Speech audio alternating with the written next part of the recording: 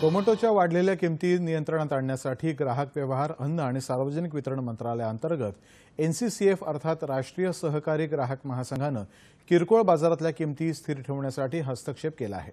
NCCF घाऊक बाजारामधून tomato विकत घेऊन मुंबईतल्या विविध ठिकाणी किरकोळ बाजारामध्ये वाजवी दरामध्ये विक्री करत आहेत ग्राहकांच्या हिताचं संरक्षण करताना किरकोळ स्तरावरती नफा वाजवी ठेवण्यासाठी तसंच मध्यस्थांना होणारा अवास्तव फायदा रोखण्याच्या उद्देशानं एनसीसीएफनं हे पाऊल उचललं आहे.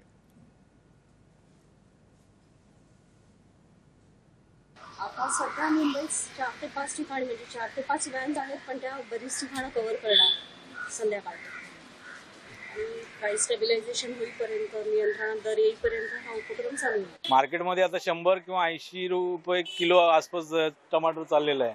हे साठ रुपये किलो म्हणजे आमच्यासाठी धन्यवादच आहे. ते तुम्हाला धन्यवादच मानावं लागेल यासाठी.